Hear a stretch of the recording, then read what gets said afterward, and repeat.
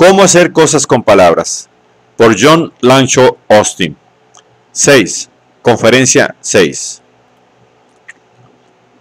Hemos sugerido que los realizativos no son tan obviamente distintos de los constatativos. Los primeros afortunados o desafortunados, los segundos verdaderos o falsos. Por ello, consideraremos la posibilidad de definir a los realizativos de una manera más clara. Lo primero que sugerimos fue un criterio o criterios gramaticales o de vocabulario, o una combinación de ambos. Señalamos que, por cierto, no hay ningún criterio absoluto de este tipo y que muy probablemente ni siquiera se puede enunciar una lista de todos los criterios posibles. Además, tales criterios no permitirán distinguir a los realizativos de los constatativos, puesto que es muy común que la misma oración sea empleada en diferentes ocasiones de ambas maneras, esto es, de manera realizativa y constatativa. Esto parece no tener remedio si hemos de dejar a las expresiones lingüísticas tal como están y nos obstinamos en buscar un criterio.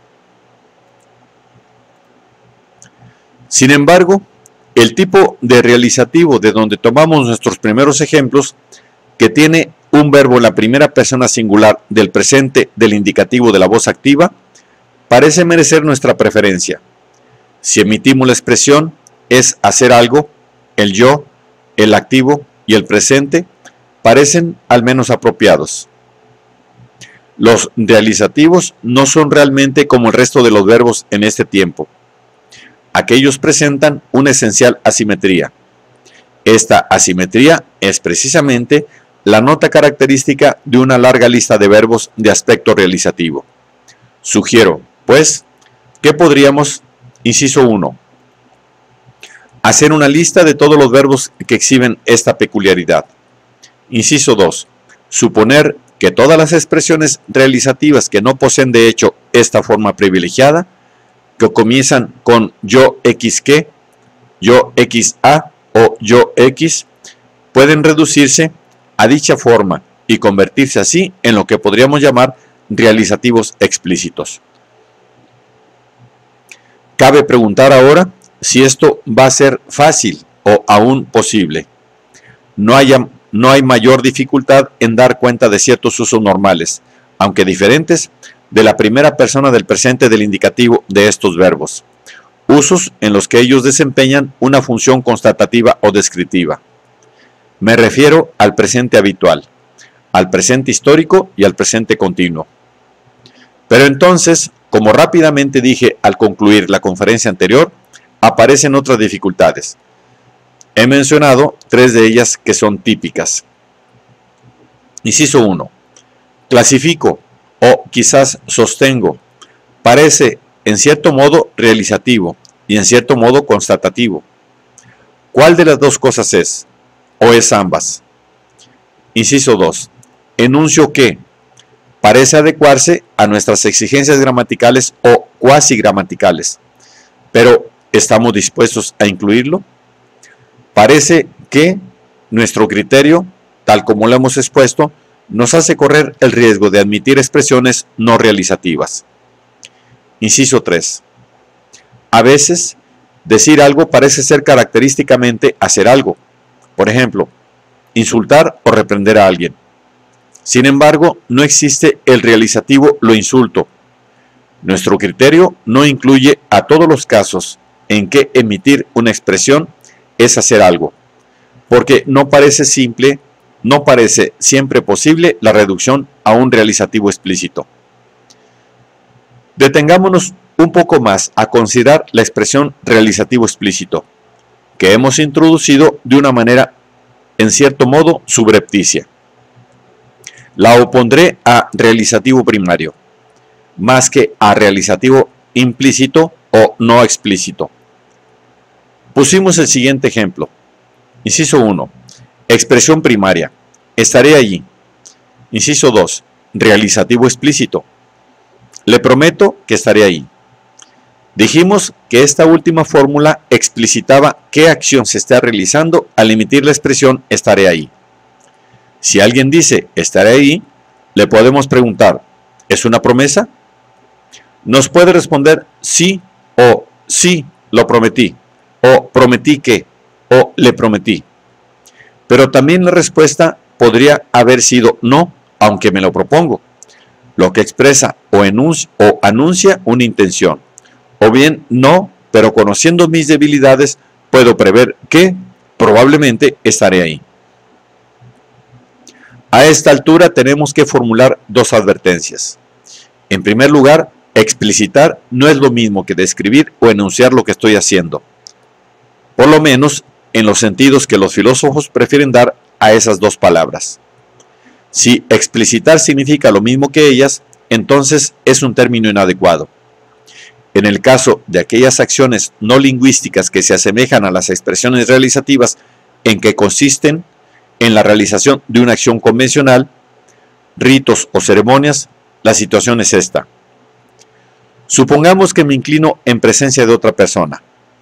Podría no resultar claro si estoy rindiéndole pleistesía o si me estoy agachando para observar la flora o para aliviar mi indigestión. Hablando en términos generales, pues para poner en claro que se trata de un acto ceremonioso convencional y además para identificar con precisión el acto, este, por ejemplo, el de rendir pleistesía, incluirá por lo común alguna característica más, tal como quitarme el sombrero, tocar el suelo con la frente, poner la mano sobre el corazón o incluso, muy probablemente, emitir algún ruido o palabra, como por ejemplo, salam.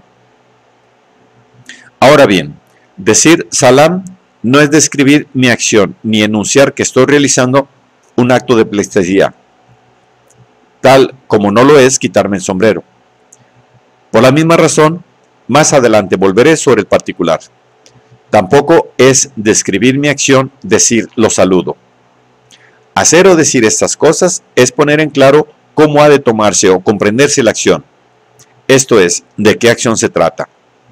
Lo mismo ocurre cuando emitimos la expresión prometo que. Esta no es una descripción, porque, inciso 1, no puede ser ni verdadera ni falsa. Inciso 2, decir prometo que, por supuesto, de una manera afortunada, constituye una promesa y además lo es de una manera no ambigua. Podemos decir que una fórmula realizativa tal como prometo pone en claro cómo ha de entenderse lo que se ha dicho e incluso, concebiblemente, pone en claro que tal fórmula enuncia que se ha hecho una promesa. Pero no podemos decir que tales expresiones son verdaderas o falsas, ni que son descripciones o informes. En segundo lugar, cabe formular una advertencia de menor importancia. Obsérvese que si bien en este tipo de expresiones tenemos una cláusula que sigue a un verbo y comienza con que, prometo que, declaro que, proclamo que, o quizás estimo que, no tenemos que considerar que esto es un caso de discurso indirecto. Las cláusulas que comienzan con que en el discurso indirecto u oratio oblicua constituyen casos en los que informo lo que ha dicho otra persona o lo que he dicho yo en otra oportunidad. Es un ejemplo típico, él dijo que, y es un ejemplo posible, él prometió que.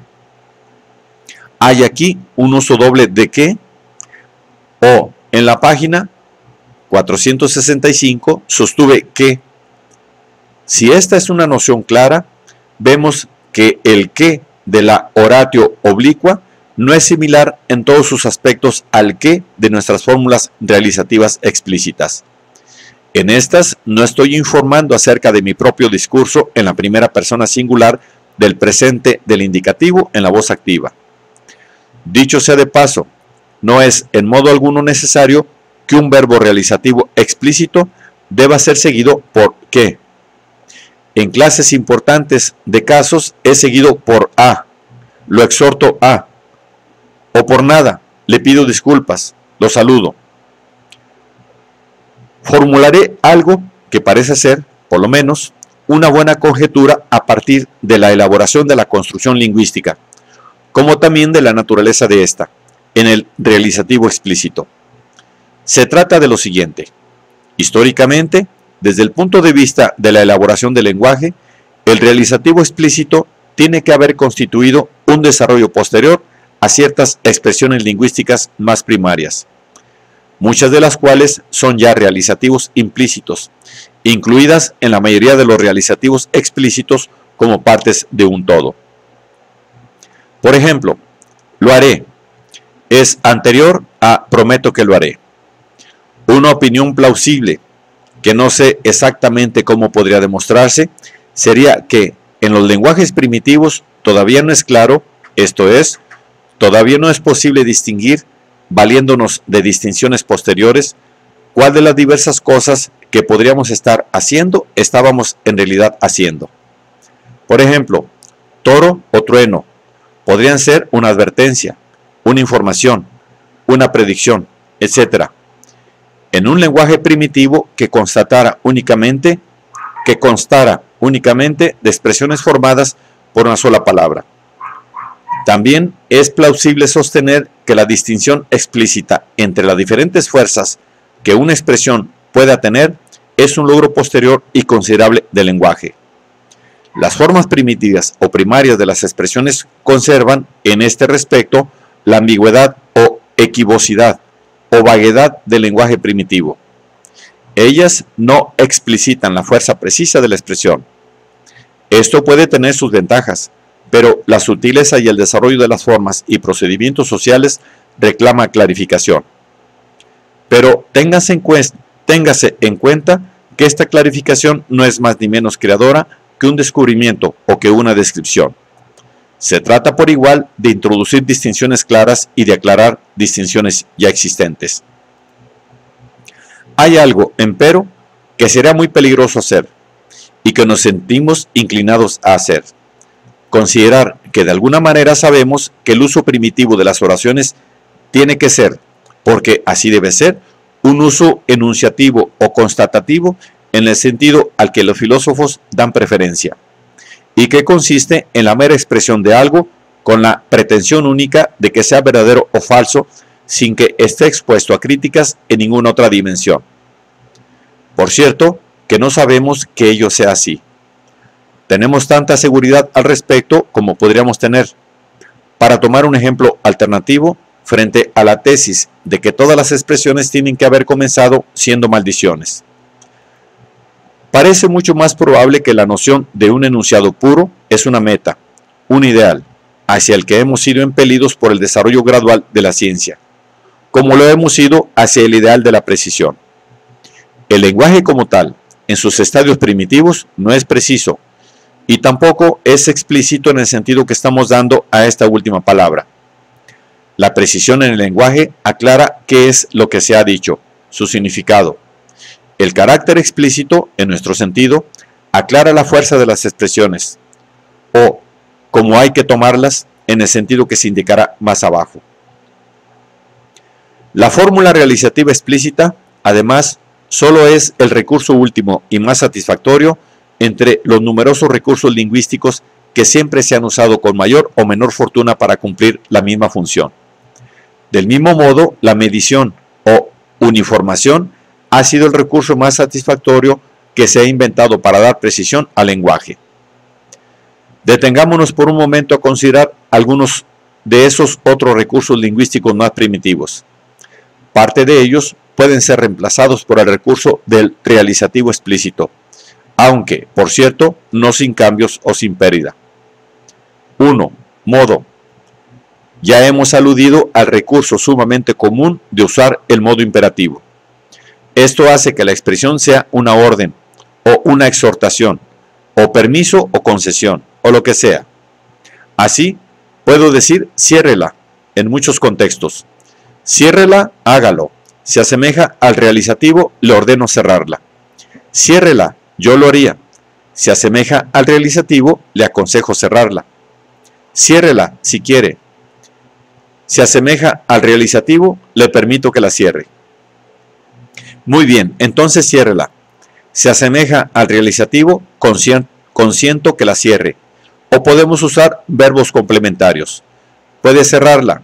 Se asemeja al realizativo, le doy permiso para que la cierre o consiento que la cierre. Tienes tiene que cerrarla. Se asemeja al realizativo, le ordeno, le aconsejo que la cierre. Debería cerrarla. Se asemeja a le aconsejo que la cierre. 2. Tono de voz, cadencias, énfasis. Análogo a esto es el recurso elaborado de las acotaciones al diálogo en las obras de teatro. Por ejemplo, con tono amenazante, etc. He aquí algunos ejemplos. Se dispone a atacarnos. Advertencia. ¿Se dispone a atacarnos? Pregunta. ¿Se dispone a atacarnos? Protesta. Estas características del lenguaje hablado no son reproducibles con facilidad en el lenguaje escrito. Por ejemplo, he tratado de transmitir el tono de voz, cadencia y énfasis de una protesta usando un signo de exclamación y uno de pregunta. Pero esto es muy poco satisfactorio. La puntuación, el uso de bastardilla y el orden de las palabras pueden ser de utilidad, aunque se trata de recursos más bien toscos. 3 adverbios y frases adverbiales. En el lenguaje escrito y en alguna medida en el lenguaje hablado, aunque en este no son tan necesarios, nos valemos de adverbios y de frases o giros adverbiales. Así, podemos atenuar la fuerza de estaré allí, añadiendo probablemente, o aumentarla añadiendo sin falta. Podemos dar énfasis a una advertencia o lo que sea escribiendo, harías muy bien en no olvidar jamás que es mucho lo que podría decirse aquí acerca de las conexiones que hay entre el uso de tales giros y los fenómenos de demostrar, en el sentido de demostrar afecto, miedo, odio, etc. Hacer conocer, insinuar, dar a entender, permitir inferir, transmitir, expresar, palabra odiosa, todos los cuales son esencialmente distintos, aunque muy a menudo incluyen el empleo de recursos y circunlocuciones verbales iguales o semejantes. En la segunda mitad de nuestras conferencias formularemos otra distinción importante entre estos fenómenos. 4. Partículas conectivas. A un nivel de mayor sutileza, quizás, aparece el uso de un recurso verbal especial, el de la partícula conectiva. Así, Podemos usar la partícula con todo, con la fuerza de insisto en que. Usamos, por lo tanto, con la fuerza de concluyo que. Usamos aunque con la fuerza de concedo que. Nótese también los usos de mientras, por la presente y además. Una, una finalidad muy semejante cumple el uso de títulos tales como manifiesto, ley, proclama o el subtítulo ensayo. Al margen de lo que decimos y de la manera de decirlo, hay otros recursos esenciales. Copio los que mencionaré, los que mencionaré a continuación, que permiten captar, en alguna medida, la fuerza de las expresiones. 5. Elementos que acompañan a la expresión. Podemos acompañar la expresión lingüística con gestos, guiños, señales, encogimientos de hombros, seños fruncidos, etc o por acciones ceremoniales no verbales. A veces, estos recursos pueden prescindir de la expresión lingüística y su importancia es muy patente. 6. Las circunstancias de la expresión. Una ayuda muy importante es la que resulta de las circunstancias de la expresión. Así, podemos decir, viniendo de él, lo tomé como una orden, no como un pedido. Del mismo modo, el contexto de las palabras algún día moriré, le dejaré mi reloj, y en particular el estado de salud del que habla, son relevantes para determinar cómo hemos de tomar aquellas palabras. En cierto modo, estos recursos son demasiado abundantes. Se prestan a equívocos y a discriminaciones inadecuadas. Además, los usamos para otros fines, por ejemplo, para insinuar. El realizativo explícito excluye, excluye los equívocos y hace que la acción resulte relativamente determinada. La dificultad de estos recursos ha consistido principalmente en la vaguedad de su significado y en la falta de certeza en cuanto a la segura recepción de ellos. pero probablemente también existe en los mismos una falta de adecuación positiva para hacerse cargo de la complejidad del dominio de acciones que realizamos con palabras. Un imperativo puede ser una orden, una autorización, una exigencia, un pedido, un ruego, una sugerencia, una recomendación, una advertencia. Vaya y verá lo que le pasa.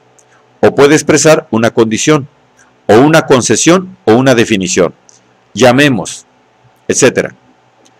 Entregar algo a otro diciendo tómelo puede ser hacer un obsequio o un préstamo o una entrega en alquiler. Decir estaré ahí puede ser hacer una promesa o expresar una intención o meramente referirme a mi futuro. Y así sucesivamente. Sin duda que una combinación de los recursos mencionados más arriba, y es muy probable que haya otros, será por lo común suficiente, aunque no en forma definitiva.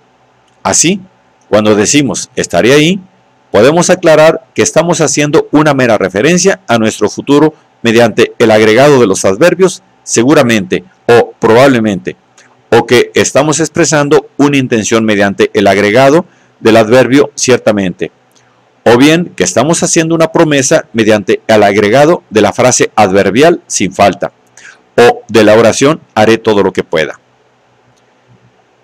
Hay que hacer notar que cuando existen verbos realizativos, podemos usarlos no solo en fórmulas del tipo prometo que o lo exhorto a, sino también en acotaciones al diálogo en las obras teatrales. Saluda. En títulos, advertencia.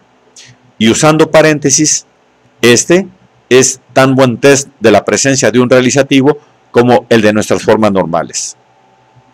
Y no debemos olvidar el uso de palabras especiales tales como fuera, etcétera, que no tienen forma normal. Sin embargo, la existencia y aún el uso de los realizativos explícitos no elimina todas nuestras dificultades. Inciso 1. En filosofía, podemos incluso plantear la dificultad que presenta la posible confusión de los realizativos con los descriptivos o constatativos. Primera, 1a. No se trata simplemente, por cierto, de que el realizativo no conserva la equivocidad, a menudo agradable, de las expresiones primarias. También tenemos que considerar de paso aquellos casos en los que es dudoso determinar si la expresión es un realizativo explícito o no y aquellos otros en los que se da algo muy similar a los realizativos, pero que no son realizativos. Inciso 2.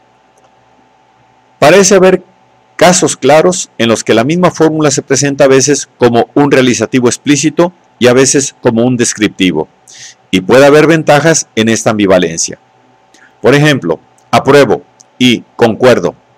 Así, apruebo que puede tener la fuerza realizativa de dar aprobación o puede tener un significado descriptivo. Estoy en favor de esto. Consideraremos dos tipos clásicos de casos en los que se presenta este problema.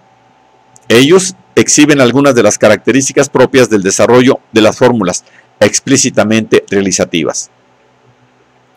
Hay numerosos casos en la vida de los hombres en los que sentir una determinada emoción o deseo o adoptar una actitud está convencionalmente considerado como una respuesta o reacción adecuada o apropiada respecto de cierto estado de cosas, que incluye la realización de cierto acto por otro.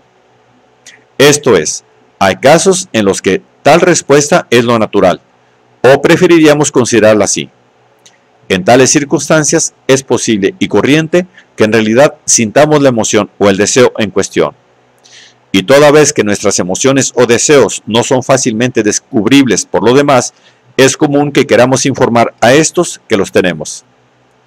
Aunque por razones muy poco diferentes en diferentes casos, y quizá menos dignas de encomio, es comprensible que sea de rigor expresar estos sentimientos si los tenemos, y hasta llegar a expresarlos cuando se considera que tenerlos es lo que corresponde, aunque no sintamos en realidad nada de lo que expresamos. Daremos algunos ejemplos de expresiones conectadas con esto. Agradezco, estoy agradecido, siento gratitud. pido disculpas, lo siento, estoy compungido. Critico, considero censurable, estoy disgustado por. Censuro, considero censurable, siento desagrado por. Apruebo, considero que está bien, veo con aprobación. Lo felicito, me alegro, estoy contento de que. La primera columna contiene expresiones realizativas. Las expresiones de la segunda no son puramente descriptivas, sino semidescriptivas. Y las de la tercera son simples informes. Hay, pues, numerosas expresiones, entre ellas algunas muy importantes, que padecen una deliberada ambivalencia o se benefician con ella. Tal ambivalencia es combatida mediante la constante introducción de frases que deliberadamente son realizativos puros.